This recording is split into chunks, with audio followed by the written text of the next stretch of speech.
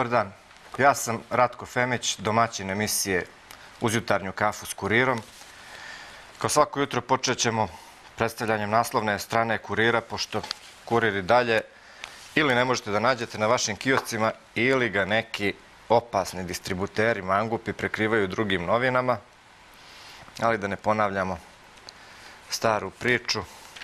Danas, evo, rekao bi čovjek, jeste tužan dan, mnogo mrtvih ljudi na naslovnoj strani.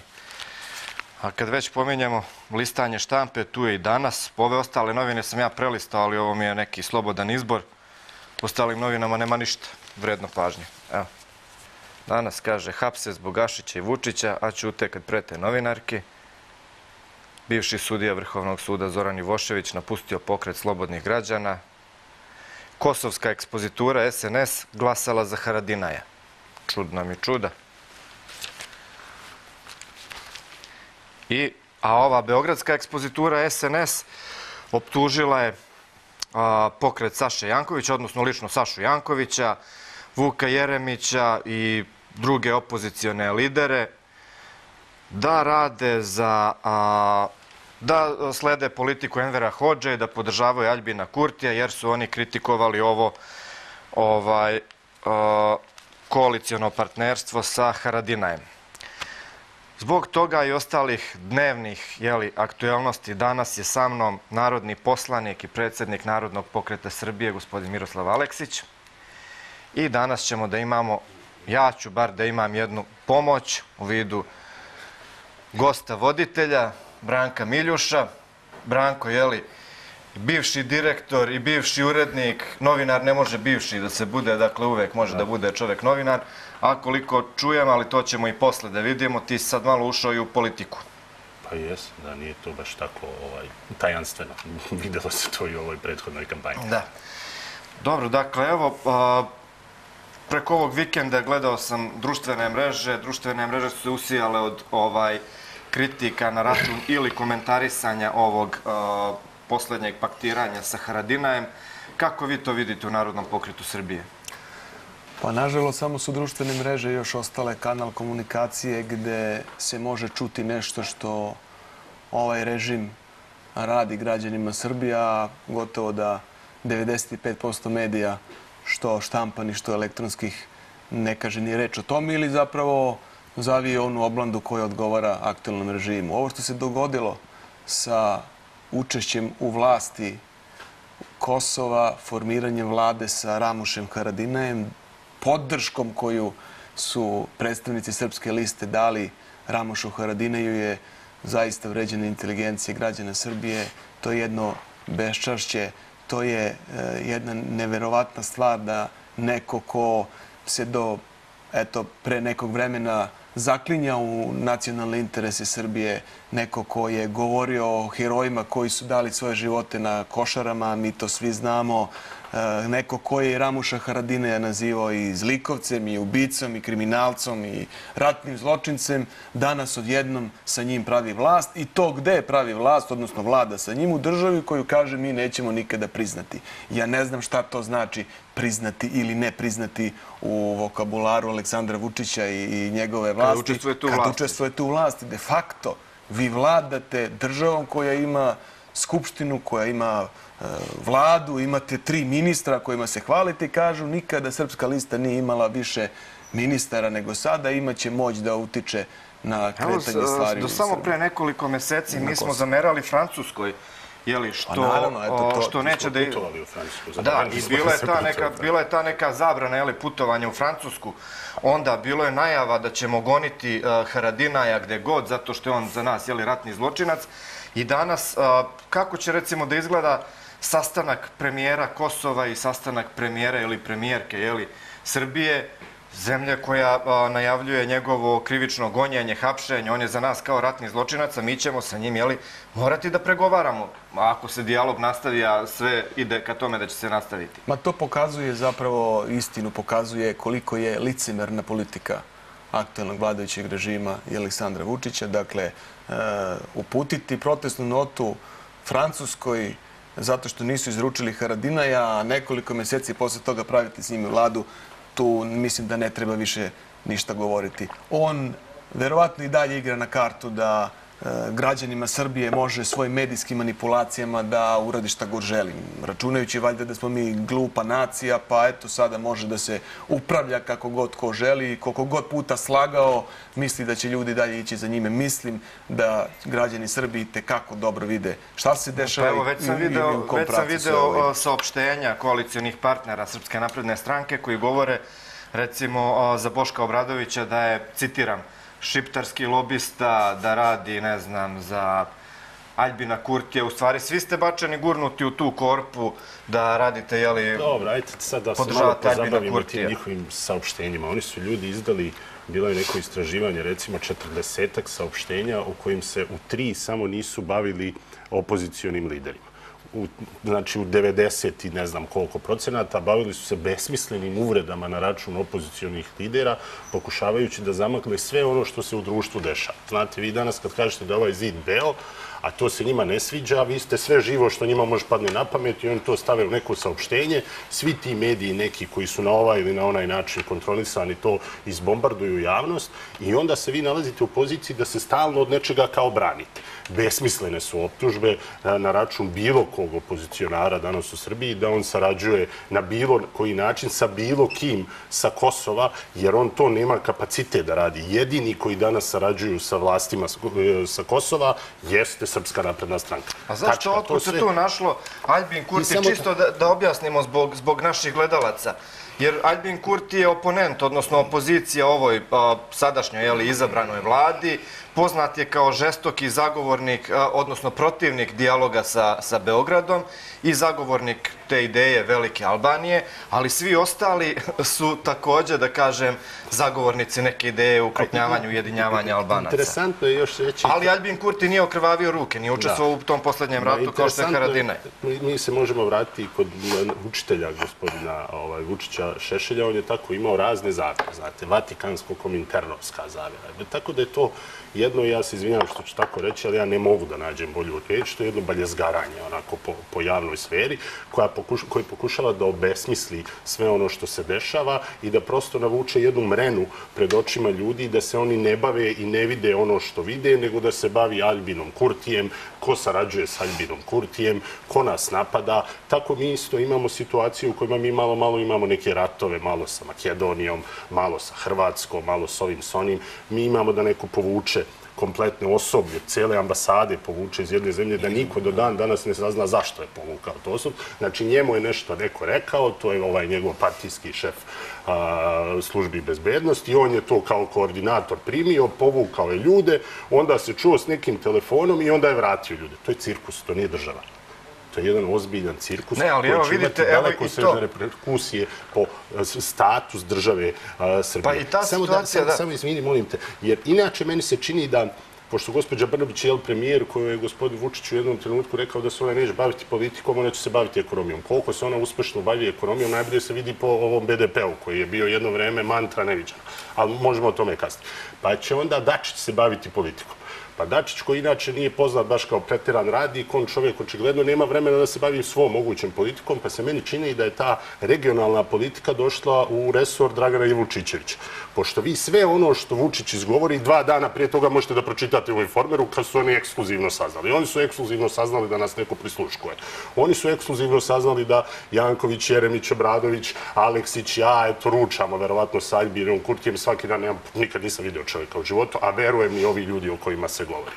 Oni ekskluzivno saznaju da je Hrvatska ono, da se spremaju atentati u Bosni i Hercegovini. Živimo u jednom potpunom haosu gdje svaki dan vam dođe da obučete pancir i stavite kacigu, a u isto vrijeme vam onda posle Samo što pode... nisu preko Drine, jel? Jeste. A onda vam posle pode neko objasni da smo mi faktor stabilnosti na Balkanu. Ja ne znam kako smo faktor stabilnosti na Balkanu ako svaka dva dana imamo sukob sa jednim od susednih zemalja.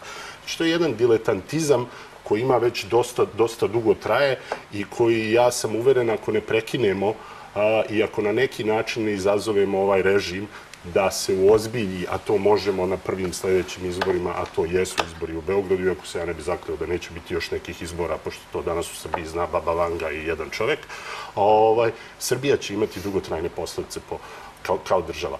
A s druge strane, mi kao društvo u takvom jednom neredu smo u slobodnom padu. I postoji gomila pokazatelja za to. Znate, ja ne mogu reći koliko je mene sramota. Recimo, kada nacionalni auto, avioprevoznik, firma koja je, koju smo, one šmrkove prskali su iznad aviona, odbije da vozi bolesno dete. I zato se ništa u Srbiji ne desi. Da je Vida Antić morao da ide na lečenje, on također ne bi bio prevezen. Znači, to je par excellence skandal. Doći ćemo do, i do Air Srbije, pošto Ja Air. Srbija vidimo ovaj, po svim jeli, parametrima koje nam vlast daje, kažu da je profitabilna kompanija. Meni se čini da ta kompanija ne može da funkcioniše bez subvencija državnih. Nego sada kada smo pomenuli Makedoniju. Dakle, mi smo povukli a, celokupnu ambasadu, osoblje ambasade iz Skoplja, pod obrazloženjem, aha, čuli smo da oni nešto spremaju, a, čini mi se, čini, čuli smo da će oni da Nismo podrže... čuli, jedan čovjek je čuo. Da, da, imamo obaveštajne podatke da će a, oni da podrže ulazak Kosova u UNESCO. A onda, je li pravimo koaliciju sa premijerom Kosova Ramušem Haradinajem, koga smo opet, evo, ajde, ponavljamo, do pre dva meseca najgorim epitetima krasili. Pa oni će se u jednom trenutku u tu mrežu koju pletu sami uhvatiti. Tu nema nikakve dileme. Dakle, i to što se dešavalo sa Makedonijom je zapravo deo jedne njihove strategije manipulacija javnoš, javnošću i sada e, imamo zapravo ne- neverovatne stvari. Oni misle da je njima sve dozvoljeno. Zapravo, oni misle da, ne, da, da je, su oni nasledili Srbiju, da mogu raditi šta god hoće sa ovim narodom, da mogu da govore šta god hoće, ponašaju se jako bahato, ta bahata njihova vlast će ostaviti, ja se s time potpuno slažem, jako, jako velike posljedice po društvo, po državu, po sistem koji je razoren, po državu koja je razorena. I sad ako gledamo i te srpske nacionalne interese za koje trebamo svi da se staramo, koji se bavimo politikom i koji su dobili podršku od građana, bilo da li je to e, opozicijna partija ili partija u vlasti, mi moramo imati obavezu prema onima koji su dali živote, prema onoj deci koje, koji su izginuli dole na Kosovu, ne smemo da manipulišemo sa njihovim porodicama, ne smemo da manipulišemo sa herojima, oni manipulišu i pljunuli su u lice svima njima. Da, kao, a, napravit ćemo da jedan bulevar će da ponese ime jeli, heroja s košara, ali to ćemo da maskiramo, tim jeli, patriotskim činom ćemo da maskiramo sve ove Ali saradnje za ja, ću, ja ću tu sada jednu stvar da vam kažem. Vi čitate danas na naslovnoj strani šta se dešava u pokretu Saše Jankovića. U prethodnim danima u medijima ste imali e, potpuno druge teme koje su bile ključne. Političke, ko će s kime u kolonu na beogradske izbore. Evo jučerašnje novine. Pre, pregledajte da li na naslovnoj strani nekoj imate vest da je Srbija, odnosno srpska lista u vlasti sa Ramušem Haradinem i da njega podržava za premijera. Nema. Imate negde, pa Srbi su dobili ovoliko resora, onoliko. Dakle, o tome govorim. Građani Srbije se nalaze u jednoj pozorišnoj predstavi koju režira Vučić i on njima plasira one vesti koje on hoće. Onda kažu ta opozicija ovakva, onakva, sarađuje s ovim, s onim. Pa koja opozicija? Gde će opozicija se pojaviti? Šta će opozicija da kaže? Da iznese program, političku ideju. A gde? Kako? Na koji način? Evo ovdje. jedino kod vas, ali vi ste, moram priznati, nažalost, e, jedan od malog broja i ljudi i medija koji su spremni danas da ugoste i ljude koji govore drugačije nego što govore Dobro, aktualni ali- režim. Da ne govorim da oni nisu spremni da sednu ni sa kim za sto. Ako ste toliko ispravni, ako ste u pravu, ako je ta opozicija toliko loša, pa dajte, gospodine Vučiću, sedite u duel s bilo kojim A opozicionarom. da nije gospodin Ne morate ni vi. Pošto on razgovara isključivo s gospodinom Twitterom e, u prisustvu gospodinom svedoka Marića. Marić je tu svedok. Ali evo, dakle, a, kako mislite da se obračunate jeli, sa tim režimom? Jesu li to beogradski izbori? Beogradski izbori jesu velika prilika. Zap- Zapravo, e, suština prednosti naroda Srbije je što su građani u Beogradu daleko informisaniji od građana koji žive u unutrašnjosti Srbije. Na izvoru su informacija, vide šta se dešava i njima se teže manipuliše medijski, kao što to koriste za ove druge krajeve Srbije. Ja dolazim iz unutrašnjosti Srbije i znam kako reaguju ljudi na osnovu čega dobijaju zapravo informacije. Sa druge strane, mislim da e, u Beogradu i opozicija ima e, veće šanse ukoliko se bude napravio dogovor. Ja sam bio zagovornik eh, jedne šire, da ne kažem kolone, šire liste. Jednog fronta, Jednog fronta koji će se suprostaviti e, a- vlasti i mislim da je to ključ da se postigne dobar rezultat. E, vidjet ćemo kako će se to do kraja sve izdešavati, zato što ja verujem da i njima govorimo vlasti, odgovara da se sada vodi ta polemika ko će s kime, da li će jedna kolona, da li će e, Saša Janković sa DS-om, bez kim će Vuk Jeremić izaći. To jednostavno njima odgovara da prave nekakvu e, masku nad, nad ostalim pričama koje su daleko važnije od toga, ali ja verujem da će biti svesti i da će opozicija zbog obaveze prema građanima Srbije, prema zemlji u kojoj žive, morati da donese... Nastavit ćemo o opozicijonom koja delovanju i planovima. Imamo nekoga a, na telefonskoj vezi. Dobar dan, izvolite. Dobar dan. Dobar dan. Zovem iz Tačka, Dragan ovdje. Odakle zovete? Iz Tačka. Halo? Iz Čačka, je li? Da, da, da. I e, recite, Dragane.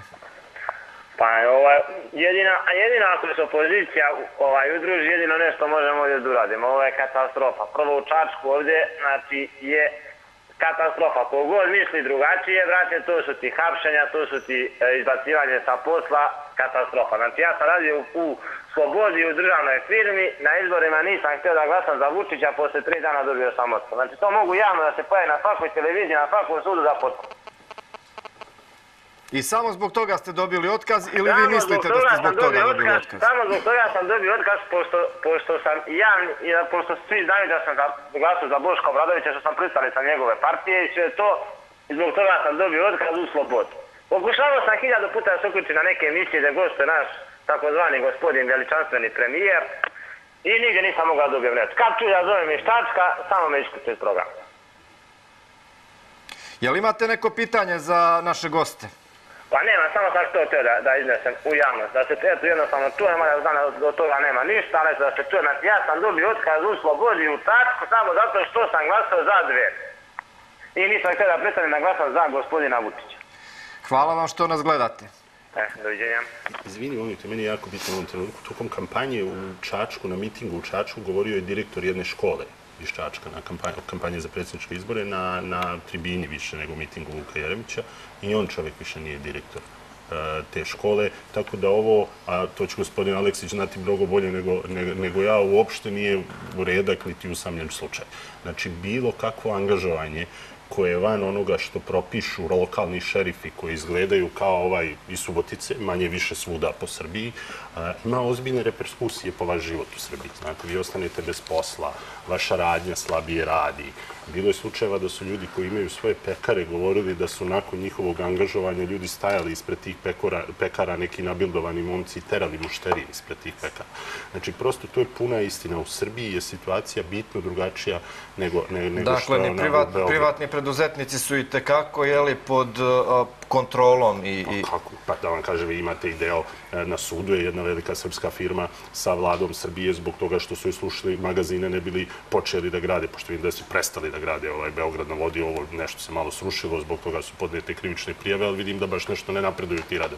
Znači, to privatno vlasništvo a, uopšte nije u, u, na neki način zaštićeno, kao što nije zaštićeno ni bilo šta čime se vi danas bavite, a to jeste zapravo srž tiranije. Znate, zloupotreba institucija jeste jednako tiranija.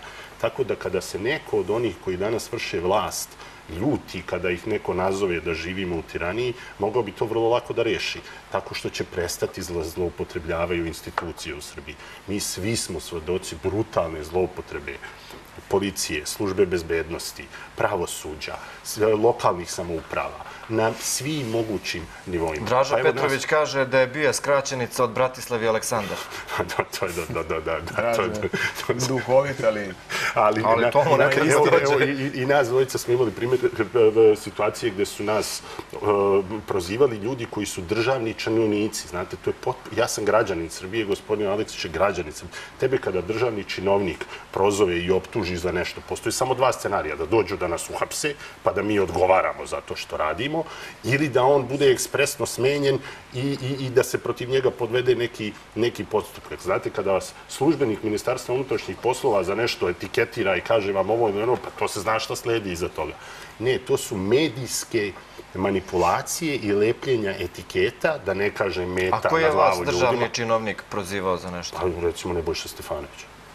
Nebojša Stefanović je a, prozivao mene da sam organizator protesta. A, gospodin Vučić je u jednoj emisiji čak rekao da neće da razgovara sa mnom. Ja nisam stvarno tražio da razgovaram sa mnom, iako to kad on poziva Vučića, eh, Jankovića i Jeremića da se šutiraju, evo, ja, ja sam spreman Neka da se šutiram, ali da odgovori na tri pitanja pre tog šutiranja. Pa ovaj, ne samo njih dvojicu, još nekoga. Dakle, trojicu je pozvao i rekao je nek sva trojica dođe. Pa da, ali oni su njega pozivali godinu dana na TV duel, on nije odgovorio na to, ali sada bi da se šutira. Mislim, to nije baš manir predsjednika koji ima ambiciju da bude predsjednik svih građana, ali evo, ajde i to, ali samo tri pitanja. Tri pitanja pre šutiranja. Dobro, a jutros jedna od vesti je da je uhapšen Saša Mirković. Saša Mirković, ajde prvo da uključimo, izvinjavam se, prvo da uključimo nekog od gledalaca, pošto da nas ne bi čekali, pa ćemo da nastavimo sa Mirkovićem. Dobar dan, izvolite. Dobar dan, dobro nam se vratili. Hvala. Pozdravljam vas i vaše goste. E, hoću samo na početku da se nadovežem e, na prethodnog gl- gledaoca što se javio. Već sam se ja javljala u vezi toga, ali evo da ponovim. Moja kći je dobila papir pod nos da se učlani u naprednu stranku i odbila je. I dobila je otkaz i još joj je šefica pred svima kolegama rekla ovako J mamicu u P. To je tako baš rečeno. To je sve istina što se priča, samo ja ne znam da li ovaj narod ili je toliko zaplašen, a da vam kažem da straha ima, jer u svakoj opštini imate lokalnih, da ne kažem, kriminalaca koji rade za, za vlast i gde čovjek ne sme ništa da kaže. To je strašno. Ja ne znam je li ovaj narod, je li oni misle da smo mi svi ludi, da ne vidimo koja, koje Kosovo, dobro je ovaj mladi gospodin rekao, pa to govorimo, ka, koje je naše Kosovo kad predsjednik naše države ne može da ode u pokrajinu njegovu kome pripada. To, to zamajavanje, oni A su odakle zovete, gospođo? iz Novog Sada. Očajna sam, deca mi ne rade, e, izdržavamo, baba i deda izdržavaju decu.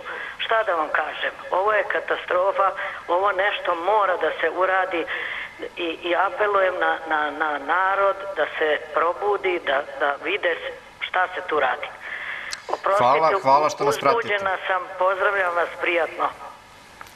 Meni je jako bitno da kod, kada govorimo o ovom strahu, recimo, ovaj, ja, ja, ja ću citirati najmlađu dobitnicu Nobelove nagrade, Malalu, a, koja je rekla da vrednost naše glasa, neću citirati, parafraziram, vrednost naše glasa shvatimo tek onda kada nam ga oduzmu.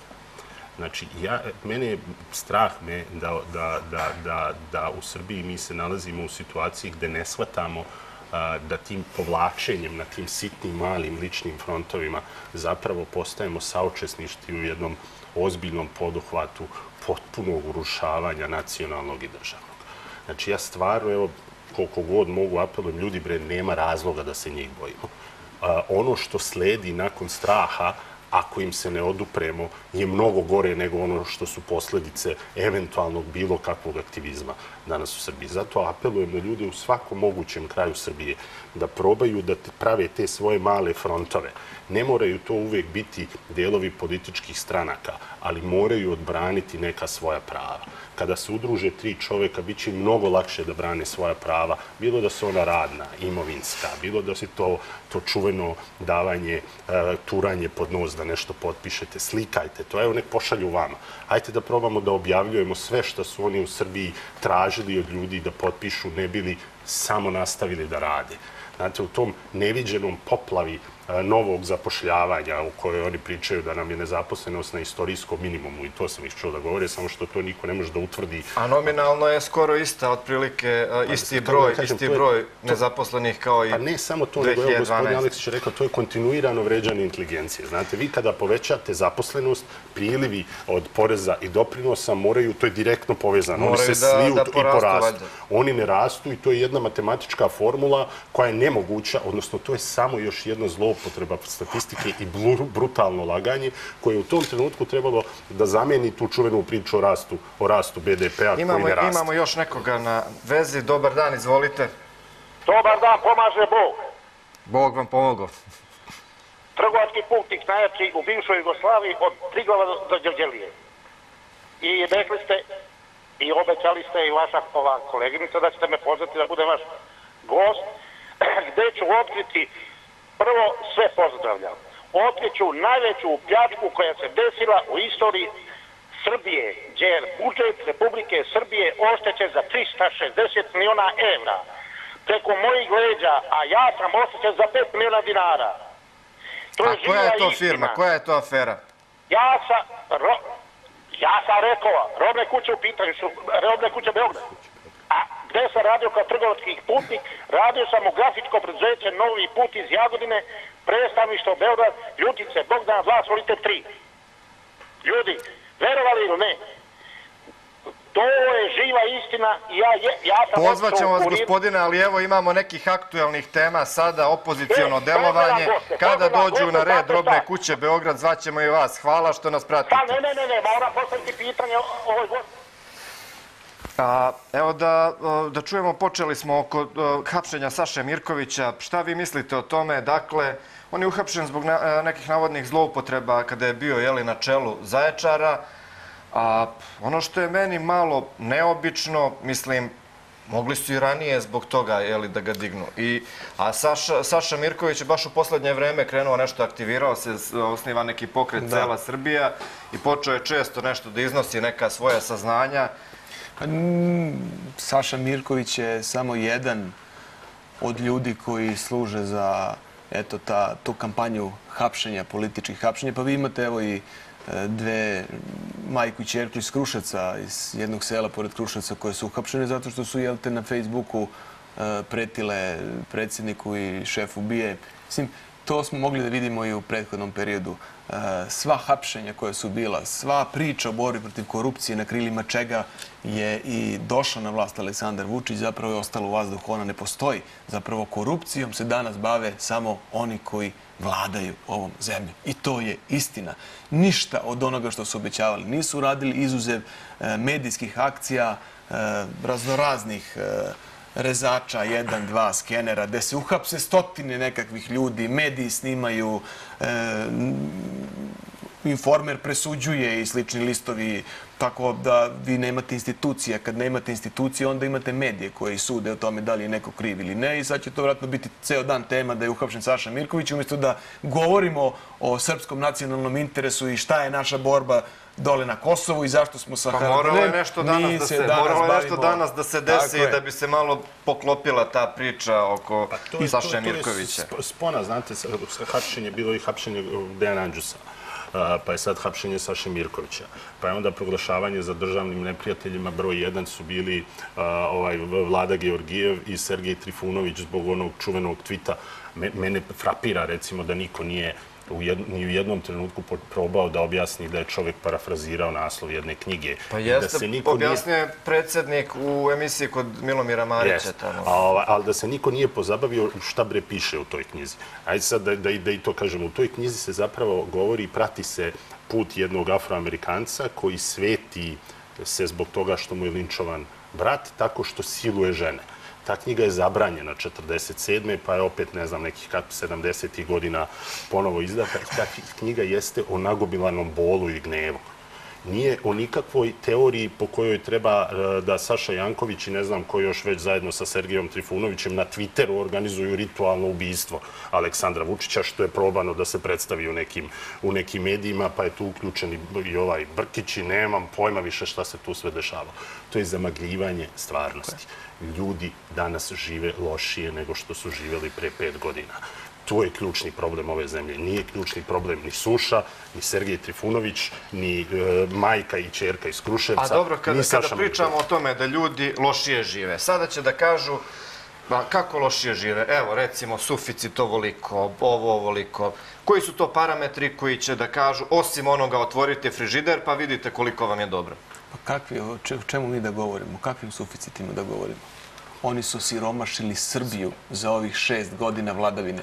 Šest godina vladaju, šest godina govore o nekakvim ekonomskim procvatima, o suficitu, o rastu, o dugovima i tako dalje. Mi imamo jedno katastrofalno stanje danas u Srbiji. Katastrofalno stanje. Oni su konsolidovali državni budžet, znate kako? Po leđima penzionera, zdravstvenih radnika, prosvetnih radnika, poljoprivrednika i svih ostalih kojima uzimaju šest godina. Neka pogledaju danas građani koliki su im računi za struju, odnosno koliko plaćaju kilova struje danas, koliko se plaćali pre pet godina. Neka pogledaju sve ostale stvari. Dakle, toliko skrivenih troškova i nameta ima da bi se punio budžet, a kasnije, kada dođu u centralnu kasu, rasipao po javnim preduzećima koje služe da bi se e, sprovodile kakve Kažete, lošije, lošije se živi, ali predsjednik je najavio da će prosječna plata da bude 600 evra. Pa mada nije, je mada nije stigla ni do 500 evra, ni do 500 evra, pošto je rekao pre toga prethodno da će da bude 500 evra. Evo nije ni 500 evra dostigla, a sad kaže da će 600 evra. Predsjednik je obećao da neće biti predsjednik. Tako da bilo kakvo obećanje, jer je on je samo dva mjeseca prije nego što se kandidovao u javnosti rekao da mu ne pada na pamet da se kandiduje za predsjednika Srbije. Onda je brže i bolje svestan da je ta šarena laža koju je pumpao neodrživa ne više o rastu ekonomskom, onda je pobegao na rezervni položaj. A optuživao je neke druge za rezervni položaj. Znači čovjek dva, pre dva mjeseca, možete zamisliti koliko čvrsta uverenja čovjek ima koji danas kaže sigurno se neću kandidovati za predsjednika Srbije, ima pametnija posla i onda u roku od dva mjeseca promeni svoje mišljenje, kandiduje se i izvrši još jedno oceubistvo ritualno pred očima cele Srbije za koje angažuje celu vladu, tako što svi ministri u vladi po, po, po komandi ispare drafal u tadašnjeg još uvijek predsjednika Srbije. I to je još jedno e, potpuno urušavanje institucija. Kao što je Ana Brnabić i sve ovo što se dešava ovih sto dana, kojih nikako da prođe ovih sanjenih sto dana, meni izgleda traje kao večnost. Jer sve što se dešava na dnevnom nivou sa tom vladom Srbije, to je skandal. Ali ajde kao to, čekamo tih sto dana dana pa da Ana izmerimo... Ana Brnabić je nekako najotvorenija. Ona kao da je najavila ovo paktiranje sa Haradinajem kad je rekla da su Srbi pa, nacionalna manjina na Kosovo. iskustvo je veoma problematično, pa izgleda da nije u stanju da sakrije sve što bi trebalo. Dobar dan, izvolite. Dobar dan. Izvolite, u programu ste. Mene interesuje u vezi ove vaše teme. O čemu se tu radi što vi e, zovete goste? Ja mislim da ti gosti uopšte nemaju veze šta govore. A zbog čega to mislite?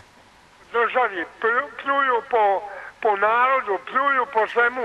I hoću da kažem to, otkuda Sergej Čefunoviću 500.000 evra da kupi stan na, u, u, u Beograd na vodi. A kome, I on kome? pluje, i ovaj levi pluje, i on, onaj desni pluje.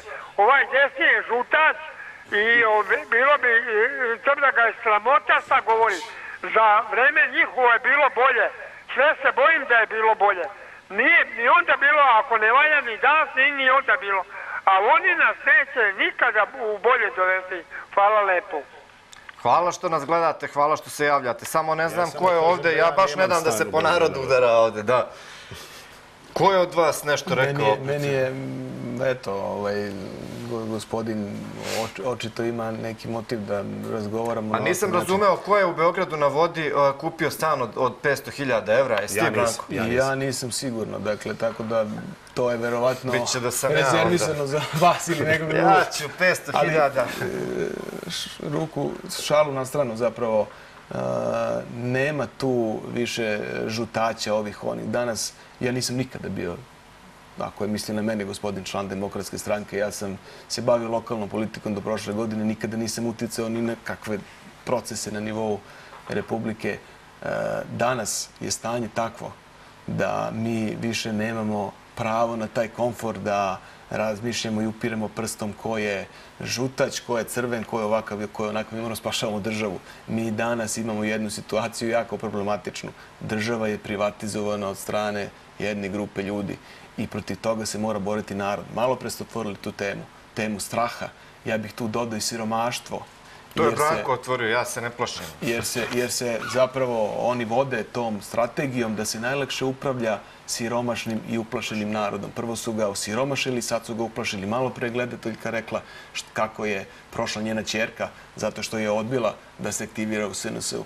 Zapravo, to je jedan neverovatan pritisak i zloupotreba državnih institucija, vlasti, bahato ponašanje i to ne može e, u- nekoj budućnosti ne može na dobro se završi. Ima još jedna stvar. Imamo sam- samo da uključimo građanina i čini mi se da je izbora. Dobar dan. Dobar dan, Izvolite. Nebojša iz Bora. Po, pozdrav za sve vas u studiju. Hvala Nebojša. Imam, imam prvo, ja ne znam, vi dovodite stalno nekoga koji komentariše o notornom lažovu. Mesto da dovedete psihijatre, psihologe i ovako dalje, da oni to Imali smo i psihijatra. procene Sanda sa- Rašković-Ivić je psihijatar. Ali pazite, on je notorni lažov. Sve što god je rekao, on je slagao. To je neverovatna stvar da, da to niko, da niko ne reaguje. Da, da, da ti policijski, policijski organi, sudski organi, razno razni organi ne reaguju. Znate, Nemojte tako za predsjednika. Ma kako da nemojte tako? Pa, recite zamislite- meni, meni je lakše Zamislite kažete ovu da sam ja. zadnju laž. Evo vam jedna laž. Daće mi 6000 u novembru mesecu, a uzima mi svakog meseca po 4-5 hiljade za, za, kao dobrovoljno sam dao. Prvo je lopov, drugo je lažov, treće je svakakav. Ja bih voleo da, da pitam ove vaše, vaše, Eto, vaše, recite. vaše prisutne tu goste, jedno pitanje. Zašto, zašto se ne provede zakon o lustraciji? Da niko kogod je bilo kakvim činom uradio nešto, da, da ne može da bude bar 10 do 20 godina više u, u vlasti i zašto je to odbiveno? To je pitanje ključno. Um, ja ne znam, ja kad bi ja, to, ja kad bi to radio, pa mene bi pa mene bi satanizovali, znate koliko. Ali o- o- ovo je, ja bi ostao i bez penzije. I ovako sam ostao bez dela penzije koji on je, koji, koji mi je ukrao. Tako da mi kažu da li će ti ljudi koji idu, ali u jednoj koloni, nemojte da idete, i da li mora da se desi ponovo 5. oktobar? Da nam neko sa strane kaže, ej, slušajte, Milošević je preterao, da kaže, e, Vučić je preterao, da li mora da dođe? Ja ne bih volio da dođe. Ja sam učesnik svih mogućih manifestacija i protesta od 88. godine. I mislio sam kad dođe neka normalna vlast, da će stvarno biti u redu. ćete da se do toga izgleda načekate. Hvala Nebojša što nas gledate, čuli smo pitanje. Ja bih dodao pored zakona o lustraciji i zakona o poreklu imovine koje je ova vlast i najavljivala nije smela da, je, da, je, da ga donese. Da, mislim da je to ključno, I to, da, je to neki stvari. standard Zapravo, onako civilizovani. To se mora uraditi i bez toga mi ne možemo nikada krenuti od početka da gradimo jedno normalno društvo. Dobro, dakle, a, Ajde samo sekund da se vratimo. Meni je jako interesantno bio ovaj prethodni gledalac koji ima drugačije mišljenje nego mi. Ja bih voleo da je ostao još neko vreme u programu, a ovaj, ne bili nešto uspeli da komuniciramo. on je sam rekao, eto vam to, Da, pa I to je jedna od opasnijih stvari u Srbiji koji se dešava. Vi smo došli u situaciju da neko nekom nešto kaže, prekine vezu, okrene se na ulici, zalepi etiketu i da nema zapravo nikakvog normalnog komunikacije. I to je jedna od bitnih tekovina vlasti Srpske napredne stranke ovih, hajde već više od pet, skoro šest godina. A, znate, vi u trenutku kada je a, predsjednik pozvao na taj unutrašnji dijalog, valjda je taj unutrašnji dijalog podrazumijeva da se on sam sa sobom na kraju nešto dogovori, pošto je njegovo traženje u kosovskom pitanju veoma u širokom dijapazonu se kretalo. Ali u tom trenutku on radi sve što je suprotno od toga na što je pozvao. On sam daje podršku preko svojih ljudi za formiranje vlade na Kosovu. On sam neke poteze vuče i izgleda da o tome šta je on obećao i šta se dogovorio, mnogo više zna Edi Rama koji recimo u svom intervju kaže da on se osjeća sa Aleksandrom Vučićem zbog njegove odlučnosti da reši problem Kosova. Ja bih volio da znam šta to zna Edi Rama, a što građani Srbije i mi ovde ne znamo.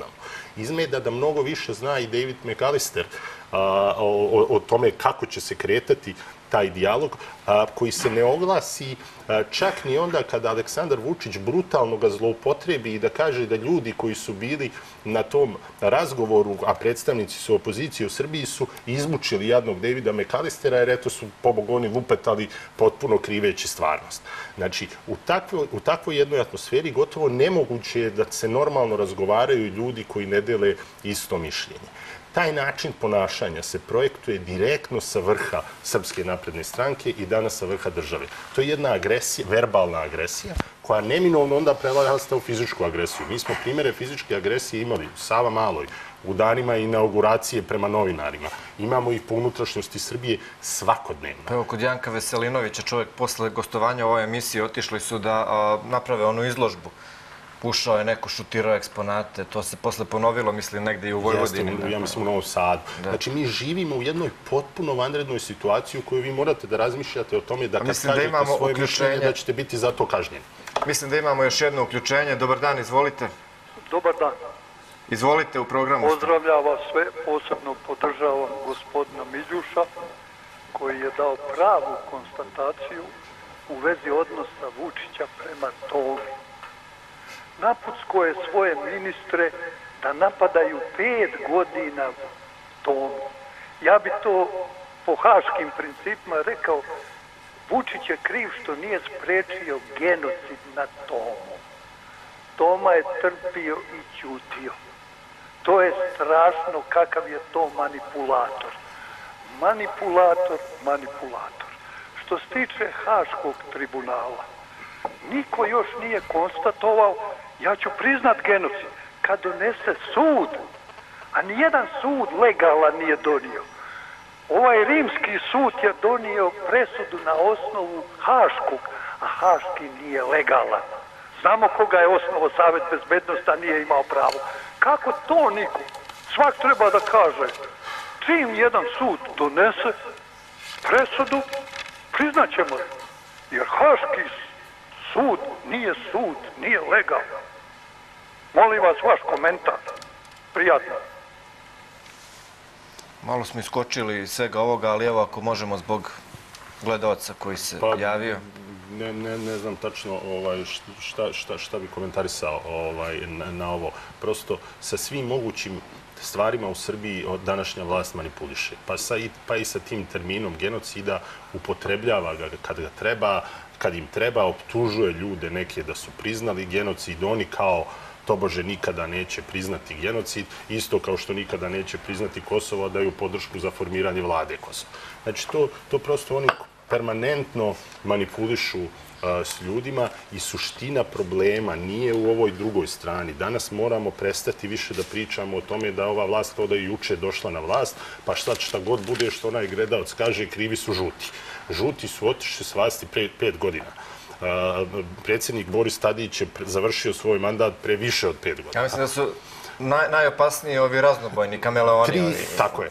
Tri smo imali e, premijera nakon toga, Dačića, Vučića i gospođu e, Brnabić. Znači, nije se to bre ljudi desilo juče, to, to, to, to, to već traje i mi moramo prestati opravdanja za katastrofalne rezultati vlasti da tražimo u nečemu što se desilo pre, ili ćemo početi, izvinjavam se, ili ćemo početi da pričamo o tome kakvu smo Srbiju zatekli nakon njihove vladavine 90-ih i u kom stadijumu je bila ova zemlja porušena, srušena, opljačkana, potpuno obespravljena.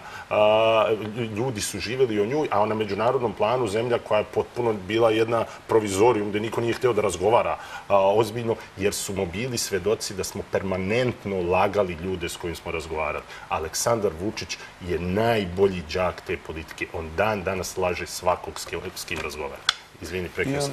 ma, stalno sam da dodam da uz tri premijera smo imali 40 ministara koji su profiltrirali, pro- procirkulisali kroz vladu kojih danas više niko ne, nigde i To ne je i sa onim rekonstrukcijama Pa i da, tako, da, da, da, preko 40 sasvim sigurno. A To samo onih Warholovih pet minuta slave ovde kod nas dolazi kao Jest. 15 Pa minut, to- nekoliko meseci vlasti, jel? To, to govori e, u prilog činjenici da on zapravo i ne vodi državu. Oni vode kampanju sve vreme. Oni su šest godina permanentno u kampanji svakoga dana.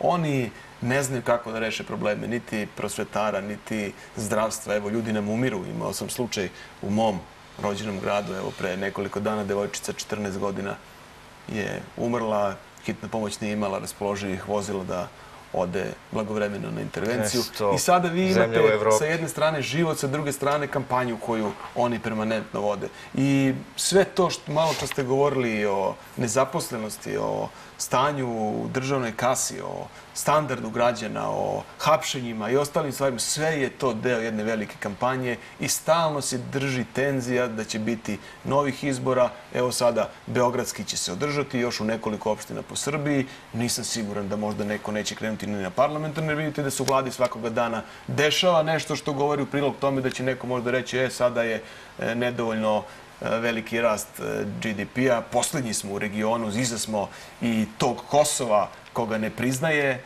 ne priznaje Srbija, iza smo i Bosne, iza smo i Crne Gore, iza smo i Hrvatske i Makedonije, jedino su Makedoncima tu negdje, mada oni imaju neke parametre gde su daleko ispred nas. Zapravo to je jedna poražavajuća stvar, da Srbija, koja ni po čemu ne treba da bude siromašna zemlja, koja ima sve predispozicije da bude jedna lepo urađena zemlja, e, građe, u kojoj građani mogu da radi život svog rada, danas mi to zapravo nismo, jer se ne trude da vode državu, nego se trude da vode kampanju sve vreme i to je suština naše. Moram da vas pitam... tri su, izvini, molite samo da se nadovežem. Tri su osnovna, kada razbiš, razgovarate s ozbiljnim ekonomistima, oni će vam reći da su tri osnovna razloga zbog tih loših performansi.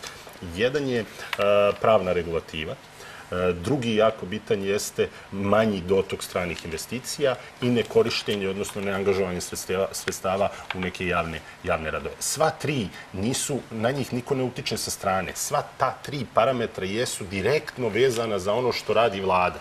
Znači, to je katastrofalan neuspjeh vlade. Danas oni pokušavaju da nam objasne da je to zbog suše. Kao da suše nije bilo u Makedoniji, kao da je neko nadvio jedan, ovaj, stavio nešto iznad Srbije, da tu samo slučajno ne padna kiša, a u Makedoniji, Bosni i Hercegovini i Hrvatskoj tamo je padala kiša. Znači, to su besmislice jedne kojim se zavarava činjenica da je to nestručna gomila ljudi koji ne zna da radi svoj posao. Oni, pa vi imate čoveka koji je najavio promjenu političkog sistema, ovog koji je čuven po svojim lapsuzima, vazduhoplova Babića. Vazduhoplova. Babića. On danas vodi a, Koridore. koridore. Znači, čovjek je svaštar. Kao što mi imamo u vladi ministar svaštare. Jedan dan si ministar vojske, drugi dan si ministar socijalni. Treći dan si ministar ovoga ili onoga. Tu niko ne zna da radi svoj posao i to je, bre, ljudi, problem. To je ogroman problem i bitno je naslonjeno i na ovu priču koju je gospodin Aleksić otvorio, ona je vezana za obrazovanje. Obrazovanje je u fokusu, kaže nama naša premijerka. Kako? tako što ljudi bez diploma, bez konkursa se postavljaju na neke pozicije u državi o kojima ništa ne znaju. Tako što se na taj način potpuno ubija ideja da je neophodno učiti i steći neko znanje da bi mogao nešto da radiš. Ljudi, to, to, to nije, znate, to ne može sutra kada izgube oni e, vlast, to ne može se promijeniti za dan, to su daleko sežne posljedice. Znači, danas vi imate dve trećine roditelja koji će preporučiti svojoj deci, to je zvanično istraživanje Demostat je pravio to, preporučiti svojoj deci da odu iz Srbije. Znači, mi živimo u zemlji u iz koje I svi to žele žele da... uglavnom na zapad. Pa, uglavnom na zapadu. Uglavnom negde da oni misle da će moći bolje da, žive. A dobro, nego da vidimo oko ovih 11 principa za opozicijono delovanje koje je napisao jeli, predsjednik pokreta slobodnih građana Saša Janković. Šta vi kažete o tim principima? Dobro, nema tu ničega spornog ni za mene, ali mislim da je ključna stvar izboriti se za fair i korektne izborne uslove. Ukoliko... A šta znači? Šta su to fair i korektni Pa izborni to uslovi? znači da nema zloupotrebe institucija, da e, svi kandidati, odnosno sve liste imaju e, koliko toliko normalnu i, ili, ili sličnu medijsku zastupljenost, barem u tim nekim zakonskim okvirima, da se poštuje zakon da RRA radi svoj posao, da sve institucije rade svoj posao i da uh, sve liste budu I ravnopravne. da li mislite da će Da. opozicija da se izbori za te fair i korektne Pa iz- ja, ne verujem. Iskreno da budem ne verujem. Zato što se to nije dogodilo na predsjedničkim, u predsjedničkoj kampanji toko, za, za predsjedničke izbore, gde smo imali situaciju, možda gospodin Miljan što bolje od mene znali, koliko sam ja mogao vidjeti neke statističke podatke, 92% e, E, vremena u medijima imao jedan kandidat, Aleksandar Vučić, svi ostali su podelili ovih 8%. U takoj neravnopravnoj borbi vi ne možete da napravite rezultat, niti da predstavite svoj program i sebe građanima kako Srbije, tako i Beograda. Ukoliko se ne stvore ne stvori normalan ambijent za izbore, Pa ja mislim da i bojkot tih izbora treba da bude nešto o čemu treba opozicija da razgovara sa građanima i da se krenu masovne proteste, jer prosto ne može se boriti na drugačiji način sa ovakvom A šta kontrolom vi planirate, kakvi su vaši planovi a, za beogradske izbore? Mi ćemo sasvim sigurno učestvovati na beogradskim izborima. Moja e, ideja i ono što ću svak- svakako podržati jeste što širi front, jer smatram da to može da mobiliše građane. Smatram da, da- ideologija neće biti presudna u smislu beogradskih izbora, da li je neko e, za eurofanatik, kako to vole neki da kažu, da li je neko protiv Europske unije, mi moramo da se potrudimo da u Beogradu e, pokažemo da Da postoji li ste i druga doneli Srbija. odluku da, da, a, kako ćete da učestvujete? Da li kao Narodni pokret Srbije, da li ćete samostalno da izađete ili ćete da podržite nečiju listu? Jeli? Ja mislim da u Beogradu e, Saša Janković treba biti taj koji će voditi i biti na čelu te jedne kolone koju bismo mi vrlo rado podržali. Zašto? Zato što je on čovjek koji je dobio poverenje Beograđana najveće na predsjedničkim izborima, 24,5% i to mu daje i legitimitet i pravo da bude na čelu tog fronta koji će učestvovati na izborima u Beogradu. Mislim da će to podržati i druge stranke. Verujem To da smo će... čuli slično nešto i od Vuka Jeremića, jeli? Pa Vuk Jeremić je vrlo racionalno i razumno izneo stav. Ja podržavam i slažem se apsolutno sa tim stavom da Saša Janković treba biti taj koji će okupljati ove ostale, a mi trebamo da pružimo maksimalnu podršku da se napravi taj front, da stavimo sve animozitete po strani, da, da stavimo sve nekakve sukobe prošlosti ako ih je bilo i da gledamo šta je danas interes građana Srbije. U protivnom, ponašat ćemo se neodgovorno i nećemo e, uspeti da građanima opravdamo ono poverenje koje su nam dali, jer su glasali za nas, bez obzira što smo opozicija, kako u parlamentu, tako po lokalu i u Beogradu i širom Srbije. Idemo da pogledamo vesti pa se vraćamo ponovo u studiju.